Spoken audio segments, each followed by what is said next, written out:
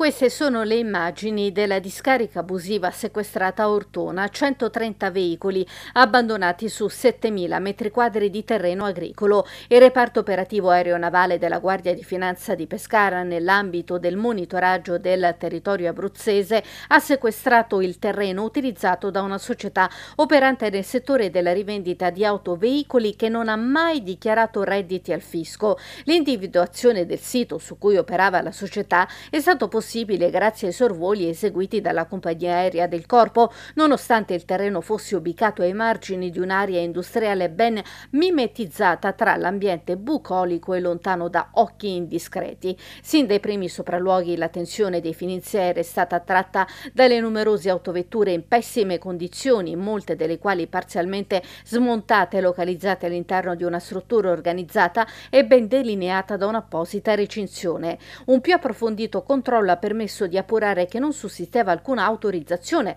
per l'esercizio di un'attività commerciale nell'area e che la stessa non era nemmeno classificata come centro di stoccaggio o di scarica. Alla luce di quanto riscontrato, i finanzieri della stazione navale della sezione aerea hanno bloccato l'illecito smaltimento di oltre 190 tonnellate di rifiuti speciali costituiti da 130 veicoli fuori uso, di cui alcuni privi di targa e mancanti di parti essenziali per il loro funzionamento, cumuli di pneumatici fuori uso, parti di ricambi di autoveicoli, materiali di vario genere, i rifiuti risultavano in evidente stato di abbandono sul terreno privo di qualsiasi sistema di raccolta o contenimento dei liquidi pericolosi contenuti nei mezzi, con il conseguente rischio di contaminazione del sottosuolo e delle falde acquifere. Così, a conclusione dell'intervento, i militari operanti hanno denunciato alla Procura della Repubblica il gestore del sito, unitamente al proprietario del terreno, per la realizzazione di una discarica discarica abusiva in violazione alla normativa ambientale vigente. Si è inoltre proceduto ad applicare la misura cautelare del sequestro preventivo all'intera area e rifiuti speciali ivi contenuti.